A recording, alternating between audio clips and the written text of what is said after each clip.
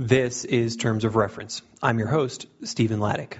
Erin Bourgois is the project manager at Cambodian Acid Survivors Charity, where she is responsible for the delivery of all of CASC programming in the country. Prior to CASC, Erin worked for Acid Survivors Trust International, where she oversaw large scale programs from donors such as the UN Trust Fund and Violence Against Women and DFID. Erin began her career in international development and humanitarian aid, working as a financial administrator for the Brookings Institution. I spoke with Erin in Phnom Penh, Cambodia. I spoke with Erin in Phnom Penh, Cambodia. Hi, Erin. Thank you so much for being on the Terms of Reference podcast today. Um, I really appreciate your time. Thank you, Stephen. Where are we talking to you right now? Uh, I'm calling from sunny and hot Phnom Penh, Cambodia. Tell us about who you are. Can you tell me what it is that you do, the organization you work for, and you know your, your specific job, like what you know what your day to day is like? Yeah, um, I work as the project manager for the Cambodian Acid Survivors Charity, uh, otherwise known as CASC, and it's a nonprofit and non-governmental organization uh, based in Cambodia. CASC provides free medical, legal, psychosocial support to survivors of acid attacks to help them heal and rebuild, while also working to prevent acid violence in Cambodia. So I pretty much make sure that all of the pieces are working and providing services, and uh, I also lead on the advocacy and prevention work.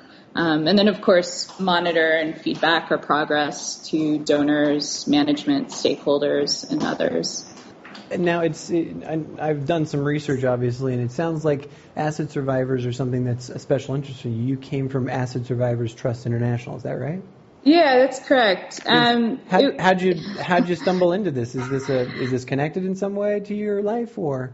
Um, it, I actually, um, after I left DC, um, I was looking to kind of make the shift out of um, nonprofit administration and finance and more into the project management and substantive side of things. Um, so when I started looking for work in London, I saw this announcement for a programs manager position with the Acid Survivors Trust International, um, ASTI. Um, and I actually had really little knowledge of acid violence at the time, but after researching more about the horrific effects of acid attacks, I became very interested and applied for the position. So um, that's yeah, that's kind of was my introduction uh, into the the field.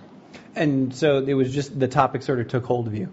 Yes, yes, definitely. Hmm. Um, and then once I started working with other organizations working solely on this issue, um, and then meeting survivors through field visits, um, I, I, became kind of instantly committed um, and really interested in, in, the work. Tell me more about the. You mentioned a bunch of different activities that you're sort of overseeing as the project manager.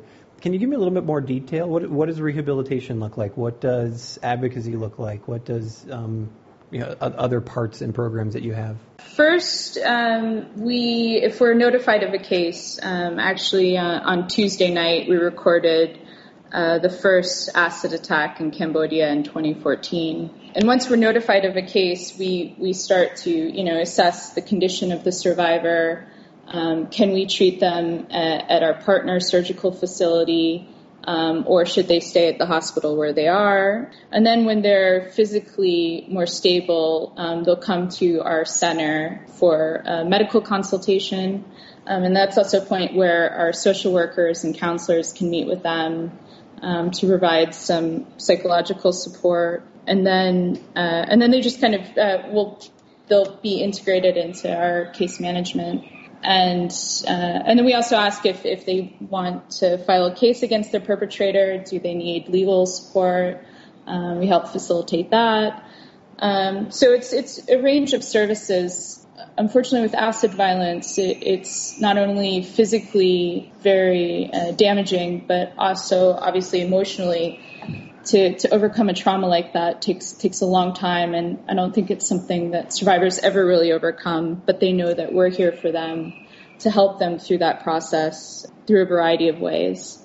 Um, and then for advocacy, so I, have worked with uh, the media quite a bit on reporting of, of cases, um, sentences, challenges that uh, that we see in the implementation and enforcement uh, of the acid law, and then also working with a lot of other partner organizations uh, on prevention, strengthening referral networks throughout the country, and so on.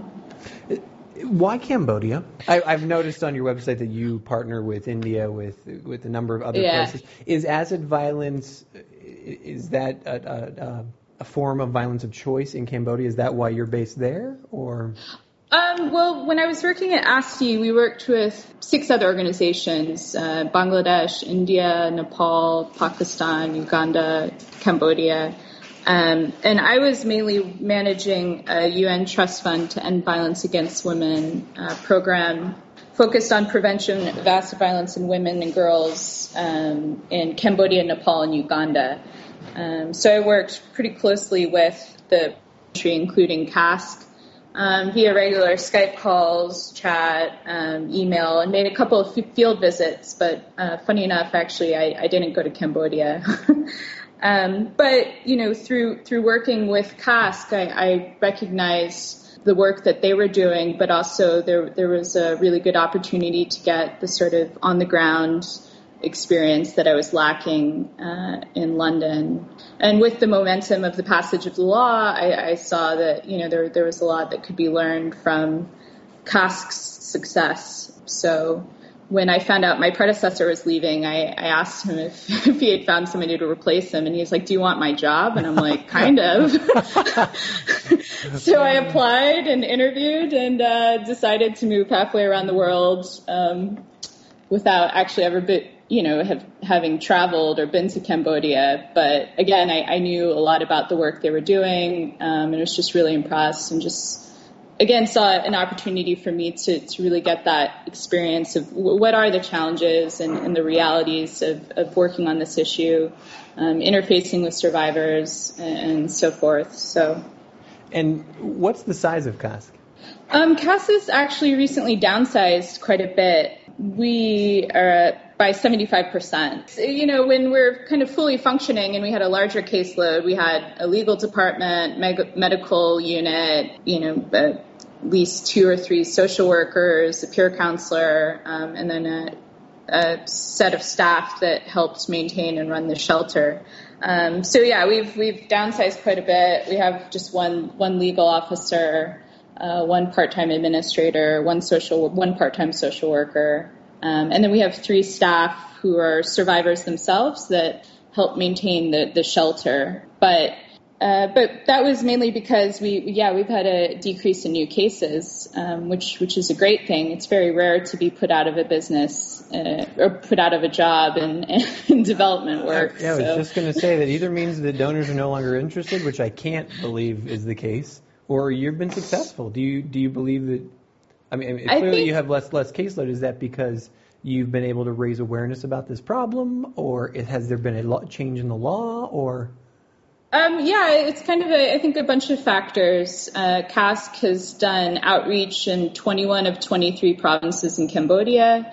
Um, so through outreach, we would um, distribute um, information about acid violence, uh, immediate first aid, and other sort of prevention messages. And then also, uh, we started advocating um, for legal reform in 2009, um, and uh, that paid off. And the first acid law with harsher penalties for perpetrators passed in 2012, and then a law re- regulating acid concentrated concentrated acid passed last year. Um, so we've seen a 83% decrease um, from the peak year. Um, wow! I mean, you've yeah. got you're like the, you're like the poster child success story. yeah, I mean it's it's it's been a huge success, but also um, you know given the the long term um, needs of of survivors, um, we have an active caseload of about 30 to 40 survivors that mm. we provide some sort of support to. So, so we need, still need to make sure um, that we can provide that needed support to them. Um, and then should God forbid, acid attacks increase again in Cambodia, we do have the funds to scale up again. Um, but we're hoping that the, the acid attack this week is, is the last one for 2014. Mm-hmm. How much do you think your success, or let's call it CASC success, success is related to its what I call super niche. You know, it's focused on yeah. one issue. That's it. Yeah. Do you think yeah. that that's a huge factor? I, I, think that's a really big factor. Um, CASC is the only organization in Cambodia solely working on this issue. So when we started to to kind of lobby and, and press the government for legal reform, we weren't seen as sort of an adversarial partner or or you know they saw us as as experts because we we had been gathering data about the scope and nature of acid violence um, since 2006. We had numbers of, of attacks, motives behind attacks, where the attacks happened.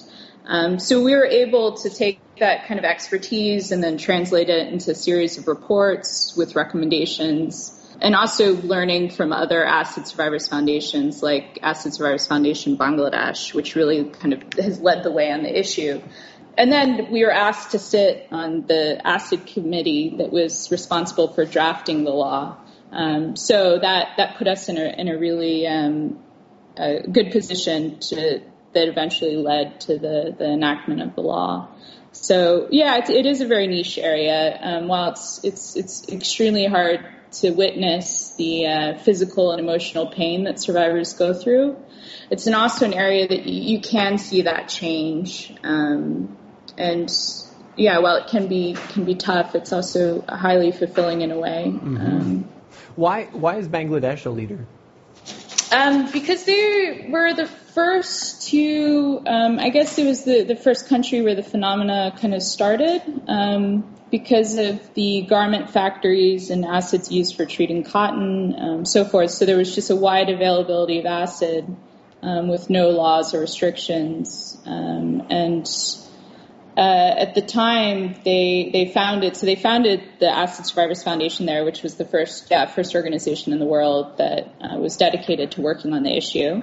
Um, they also established an Acid Crime Act uh, for penalizing perpetrators and an Acid Control Act. Um, so all of the, the other countries that are kind of working on this issue have, have looked to them um, and how they established the law, what sort of um, clauses did they include, and, and yeah, so we've we've learned a lot from them over the years. Um, I actually went to workshop there last month um, mm. with them. And what happens if you eventually do work yourself out of a job in Cambodia? Do you think you'd still stay with this topic and look to move to a different country, maybe, or something, or? Yeah, I mean, I, I would like to continue working um, in the field um, uh, of acid violence, um, and maybe perhaps for for growing or developing organizations um, in countries where it seems to be an increasing, unfortunately, like India, Indonesia, Colombia. But if not, I mean, I think my experience here in working with the survivors and understanding, you know, successful prevention and advocacy work can, can be applied wherever I go, hmm. which will most likely be in human rights, I would think. my ears, my ears pricked up when you happened to mention Colombia there. Everything that you've mentioned thus far has been sort of, you know, the subcontinent, Southeast yeah. Asia, uh, and I know that acid the availability of acid is related to manufacturing or some of those types of pieces. Why Colombia? Um, it's it's uh, they have there's one organization that that's been working uh, with survivors and they record about hundred attacks a year in Colombia, which wow. it's just pretty high. Yeah. Um, and also assuming that a lot of attacks generally go unreported out of fear of retribution from perpetrators, lack of confidence in the judicial, legal, police, etc. But yeah, it's it's um, like in Uganda, for instance, batteries they're wet batteries, so batteries that you top up with battery acid, which is widely available and uh, is is uh, very damaging. So it yeah, so I think in Colombia it's it's it's battery acid that's used, hmm. but. Um, that's interesting. Yeah. So it's not a phenomenon that's sort of concentrated in a region. It really is a global issue. Yeah, it's it's and then in the UK too, the uh, NHS recorded I think yeah over a hundred uh, chemical assaults, which included acid uh, in I think 2012. So.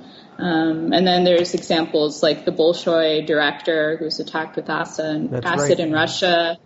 Um, yeah, so it's it can be it's just it a breakdown in, in a relationship. It doesn't have to be an intimate relationship. Um, it can be, you know, political, uh, business dispute, land disputes in the case of Uganda. Um, so for a variety of reasons, but you have a, a cheap available weapon, um, then yeah, unfortunately, it, it happens. I want to I want to step back and look at your your career for a second. You had started explaining that you started in administration, and then yeah. were you know you worked in that for a while and were seeking then to get into a project management role to get out in the field. My first question is, did you feel like your experience in administration? First of all, what was that? But you know, did that experience give you a leg up when you started looking yeah. for jobs? Yeah, yeah. I mean, I think um, you know, I, I, started off really in a, with a finance background. I worked as, mm. as a bookkeeper through college, even though I was getting a political science degree. Uh, when I graduated, my financial experience was more useful and applicable than than my political science degree. But um, but I think having Which, uh, you, you know, know, but if if our experience here in in Aidpreneur is any indicate, indication, I mean, what we've heard is that people say come to development with a skill. Don't yeah. com- don't come as somebody who wants to do development. Come with somebody who has a skill. So that's what you did. Yeah, yeah, no, in, in understanding budgets, understanding grants, donor requirements, audits. Um, it, it really, um, you know, because it gets down to like you, you define the activity of what you're doing. You know, when you look at a log frame, it can be these, you know, the the goals or the you know the, the objectives can outcomes can be kind of really out there, right? But you're like, what what is the actual activity you're doing? And when you when you do a budget, that's where you see, okay, it's it's you know access, increased access to justice. Okay, well, what does that mean? Um, facilitate, you know, paying the transport costs for a survivor to go to the court hearing. You know, you, you know when you when you have that understanding, um, and I had been working on, you know, in financial management for nonprofits for at least you know four years before I went to work for ASTI. So I felt that that yeah that that gave me a, a big leg up. And then also in the you know when you're developing proposals and, and for projects, you know being able to map that out um, and then see in the bigger level of what what are you trying to accomplish. Um, of course, donors really appreciate when you have that that strong financial background. Um, Did you? What was the transition like for you when you finally made the decision? You said, "Hey, you know, I'm I'm I'm ready to move on from admin from my finance position." Was it a year? Was it two years? Was it two months? Was it a week uh, until you found that next position that you, that that you were able to move on? I mean, I, I was really fortunate um, with ASTI because I think they, they saw that I, I was really interested and, and really, um, and I had been kind of interfacing with um, uh, Brookings, I worked in the foreign policy program and, and worked uh, with the uh, Project on Internal Displacement, which helps support the Special Rapporteur for IDPs. Um, so we acted kind of as a secretariat, um, disseminating um, documents, coordinating workshops and official missions, and so forth. So I felt like I, I, did have some experience, but ASTI, ASTI was like, you know what, we, we think you would actually be really good at this position. Um, you know, would you, you know, do, do you want to try it? And um, and funny enough, the, the UNTF project, they had been having a lot of challenges with, with the budget. So when I when I first started, I was like, okay, wait, I can actually I can do this. you were a dream so. Holy smokes! I created the world's largest Excel spreadsheet, um, but it was also understanding, okay, how can I make this intuitive and easy for the partner organizations? Because I think they just felt really overwhelmed with delivering on the project, but then trying to make sense of, of where we were um, just really showing them that okay, I can create this tool for you and help you with this um, and make your job a little easier. Um, and then that strengthened my relationship with them. Um, and so, yeah, so it actually just was kind of a perfect synergy of things. It, it, sounds like you've just had this serendipitous career so far. That's fantastic. I know. Knock on wood. I mean, I, I, don't know. But... You you wear lots of hats right now. So you've now you've gone from ASTI to CASC you know, you, you were describing in the beginning how, you know, you're project manager, but that means interfacing with, uh, you know, the, the case study, the cases that you oversee, interfacing with the administrative things, working on advocacy. How do you wear all those hats? How do you divide up your day? How do you make sure that you don't get diffused? it's it's hard because it, it, you know it, it can be um, like for instance when I when I was notified of this attack on Tuesday night you know, it's I, I'm thinking about you know the, the, pain that they're feeling, uh, the fear for for their safety if you know if the perpetrator hasn't been arrested. Um, you know, so that emotionally can can be very taxing. But then, okay, then organizing myself to make sure that okay, are we, yeah, are are we starting to do everything that we need to do? So um, I, you know, I think just trying to be as organized you- as I can. Can you before, before yeah before you dive into or, uh, more organization, but can you take us through that a little bit? So you receive this phone call. It's 9:30. You know, you've just finished dinner. Um, what you know, what is it that you're supposed to do? So I, um, I notified our our legal officer. Um, I called her and I said, you know, this is what I know about what happened. It was still kind of, you know, the details weren't very clear. Um, so first thing in the morning, um, I got the the contact information for where where the survivor was, like which hospital, who is the police officer that's been handling the case. Um, so then we contact them to get a status of, you know, first and foremost his medical condition. Has the perpetrator been arrested? So we're still, yeah, following up on those details. But then I, I find a photo, for instance, that one of the Khmer papers took of the survivor, um, and then gave that to our surgeon and said, you know, can he be treated now, given the extent of his burns, or should he stay where he is? And wait until he's in a more stable condition, um, and then come to uh, to the surgical center for follow up.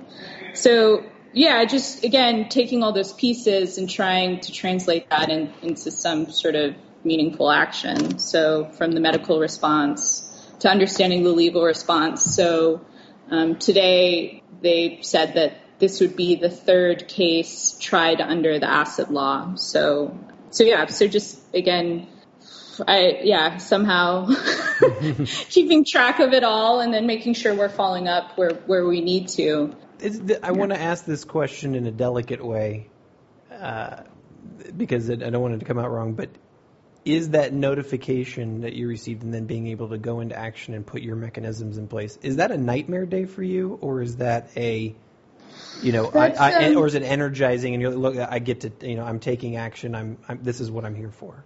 Yeah, in, in one sense, it's it's good because we, we can try to do as much as we can to help help the survivor and their family, and to be able to say that we've we've been through this before.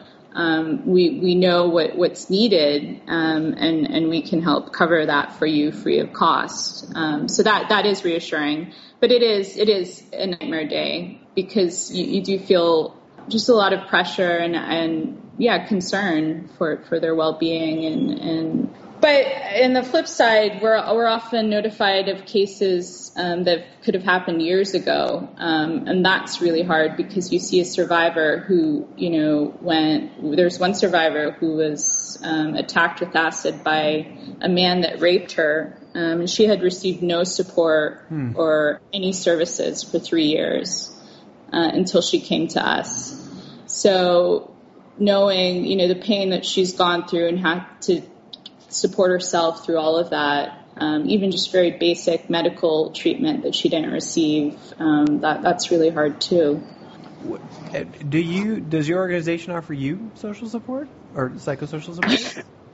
Um, I, I would say that the, the um, good thing about working in, in a niche area like this, I've got to work with every, almost everyone that's working on this country and their issue, or working on this issue in their country. So it's kind of like that, that misery loves company. we have an instant solidarity when we meet for whether it's like um, workshops. Um, like so, when I was in Dhaka for this workshop to set a standard of psychosocial care for survivors. Um, we had representatives from the Acid Survivors Foundations uh, in Pakistan, India, Nepal, uh, and Cambodia. Unfortunately, Uganda couldn't make it because of visa issues. But um, but yeah, just being with them and, and talking through, you know, just just what we face day to day, and and how, how did you deal with this, and and I found that kind of solidarity and support among the other people that have been working uh, on this issue very uh, very important. So I've yeah I'm usually in touch with with a lot of them in some way, either sending them articles or documents that we might have published, or just yeah asking how are you doing and, and just I- get yeah getting that. And I imagine really- that that universe of people who concentrate on this issue can't be that big. So you might know No. everyone. No, it's true. I mean, like I, I know the founder of the organization in Bangladesh. Um, yeah, again, it's it's it's I've been very fortunate to, to find this this kind of niche area, um, and then to, to get that support. And yeah, we just we just do that sharing and kind of collaboration on our own. Um, and yeah, it's it's that's that's been really uh, fulfilling and also supportive. How do you you know I, I'm going to assume you come back to the states every now and then for a you know for a holiday or whatever. How do you bring this topic or bring your career to them? Or do you? Is that even possible? It's um well I've encouraged all of my family and friends to like the CASC Facebook page. So I, let's put, um, let's put a shout out right now. I mean, go like the yeah, CASC Facebook yeah, page. Yeah, we're, sure. we're still I don't think we've reached 500 yet, but um but yeah, I think 100 of those likes are, are family and friends. But um you know, so actually that's one way where they, they can see what, you know, the work that we're doing. Um, but it is, it is hard to translate sometimes. Um, I, I think, you know, they, they see this, this sort of, oh, you're so compassionate. You have all this, you know, it's amazing what you do. And yes, it's amazing, but it's also, um, it's also, it's really hard too. Mm-hmm. Um, and you, you don't realize kind of how much it wears on you or, um, how it sometimes changes changes things until you go back home and, and you really see that. Um, yeah. So. Do people um, concentrate more on the acid uh, part of your job or the Cambodia part of your job? Um, I think it's it's kind of it was funny because I I had said I was moving to Cambodia and some one of my friends thought I was joking for some reason, and then he saw I posted, yeah, I posted something that I was in Cambodia, and he was like, "Wow, you actually really did go to Cambodia." I was like, "Yeah, I mean, uh, so that for some people, I think is just, you know, that's, you know, it's it's uh, it's a bit um, a bit of a, a difference, but um, but yeah, the acid violence. I mean, I think it's it's something that is obviously instantly emotive. Um, people feel, um, you know, a lot of compassion for, but but yeah, I think they they recognize that it's it's probably a hard issue to, to work constantly in and interface with. So, hmm. but I would say my my family has been pretty supportive. My mom came for for a month.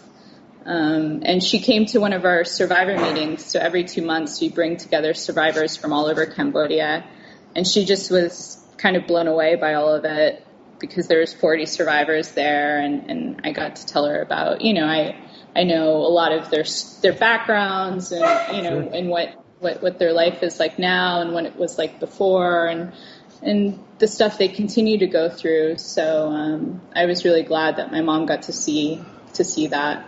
Let's do it for a second because you said you lost 75% of your staff over the last year. Where does your funding come from, and and how are you going about fundraising? Um, we've we've actually had a lot of. Uh, we're fortunate in the sense that we've had a lot of unrestricted funding mainly, um, which is good because a lot of donors don't like to fund medical services, for instance. They don't see it as sustainable. Um, it's costly. They prefer to fund advocacy, prevention, research, mm. those sort of things. Um, so a lot of our funding comes from Singapore, Hong, Hong Kong, sort of investment firms with foundations. Um, so yeah, so we've actually been really fortunate that we've we've been able to have that flexibility to apply the funds where they're needed. But uh, but also with the UN Trust Fund grant, for instance, that that was really solely focused on advocacy and prevention. And during the life of that that project, the the law passed, so that that was extremely significant. So, um, but then of course to have that sort of credibility of, of a larger a larger grant um, and donor relationship, but but I would say most most of our funding has been um, either private donations or through corporate uh, foundations.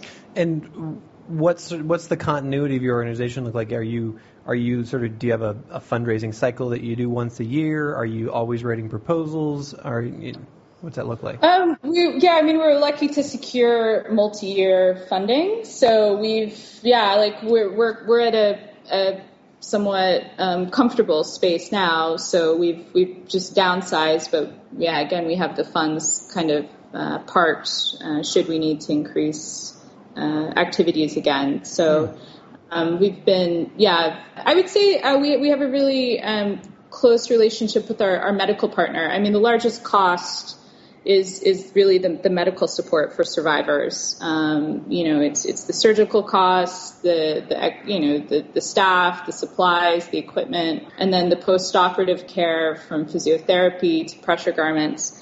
So we have a, a really strong medical partner that that's uh, well established to, to, kind of really burden or take a lot of those those expenses. Um, so so that's uh, that's another reason where we can use the other funds to focus mainly on the psychosocial, legal support, prevention, and so forth. So strong partnerships for the services that you might not have the resources to apply. Mm-hmm. Um, you know, uh, we don't provide direct legal aid. Um, I mean, we provide legal aid, but we don't represent the survivors in court. But we have a network of pro bono legal aid organizations that we work with. So mm-hmm. depending mm. on where the survivor is in which province, then we identify which um, organization can provide the legal support, and then we just you know monitor and follow up throughout. But you know that's our way of, of being able to provide that local support um, that we can't provide. But you know again through, through really strong partnerships. You mentioned earlier that you know you when you got into I believe it was your uh, ASTI job you came and you said you know you sort of created the world's largest Excel spreadsheet to help your partner organizations, you know, create a tool that helped them understand their funding obligations, those kinds of things. What kind of tools do you use right now? I mean, clearly you probably use Excel, but are there specific tools that you use for project management or for keeping track of case studies or for advocacy that you think uh, other organizations like yours would benefit from? I mean, I use. I mean, it's it's kind of basic. I I just I, I use um, my Google Calendar pretty frequently. So for everything that's happening during the day, like for instance, there's an ophthalmologist that's doing a con the survivor today. So you know that I put that on the calendar, and then it says with which survivor. Um, the Phnom Penh Post published an article about um, the third uh, case to be tried under the acid law. So I use the calendar and then put you know the details with related emails or links. Um, and then once a month i integrate all that information into a narrative report um, that's broken out by themes. And then that's then integrated into quarterly and annual reports. And then depending on like if, uh, if there's donor specific reports needed. And then i use excel to track kind of this this statistical information. So we have a database that tracks um, the the statistics of attacks and survivors and so forth. Um, but then I also track okay how many which survivors received counseling, so we're not duplicating the numbers over the year, and that's also a good way of seeing okay which. there's one survivor, for instance, that we always provide, like, you know, once a week they speak with our counselor. So you can see that the survivors that might need uh, more support for counseling versus medical support. So yeah, it's just using using pretty much the calendar, then integrating that information into narrative reports, and then Excel for for the data. Um, I also have an iPad Mini, which I'm a bit, which I'm actually skyping you from right now.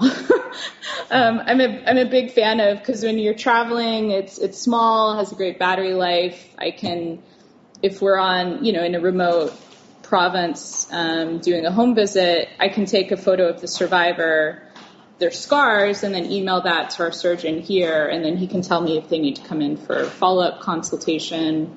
Um, I can post photos to the CASC Facebook page, edit them, and I've actually even used some of the photos for annual reports and other external materials. So I found, yeah, and then and then it also links with my Dropbox, um, which I use um, for that's mainly if I'm working with partners in, in the other countries mm-hmm. um, for, for sharing if we're working on the same document and so forth. So, is there any is there any tool that you wish you had that either other can't afford or you, you haven't asked for or? Yeah, I no, I, I guess maybe I haven't done a, a lot of research into it, but I guess what we have now, I mean, given we're you know the it's not as complex, so we don't really need, you know, um, I don't know. I mean, we use Skype, Skype chat. Um, yeah, I, I, don't know. Yeah, I don't really no, about it. No worries. I, I always, I always end my interviews with with this last question. So, given your experience over the, you know the last decade or so, What's you know the sage advice that you'd give to someone who's either looking to transform their career or looking to get into development and aid work that you believe has been critical to your success? I mean, I, I guess it's good to have an overall sense of, of where you want to go professionally, but you know, I'd say leave some space for unexpected opportunities or paths. And it, it is hard to, to uh, I guess, trust and, and have that confidence. But, uh, you know, you, you have to take a chance and push yourself. Like, for instance, applying for that ASTI position, I, I really had little or no project management experience. But given where they were in the project, they needed somebody with strong financial and grant management experience. So again, it, it, maybe that was serendipitous too in a way, but um, I was able to to make that transition. But I, I you know, I wasn't going to apply for the job you know, I thought, oh, there's no way they, they would pick me. But I also didn't know maybe what they were looking for at that moment. So, so again, to, to take that chance, um, and, and who knows what sort of skills or expertise that you have actually might really be needed for that organization.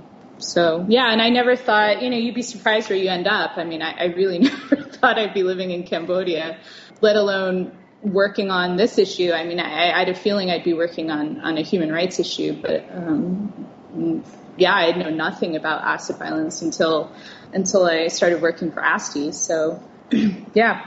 Erin, thank you so much for your time today. Yeah, well, thank you. I hope I hope it was helpful. You've been listening to Terms of Reference, a weekly podcast from aidpreneur.com. Find us on iTunes or at www.aidpreneur.com. Thanks for listening, and we'll catch you next time.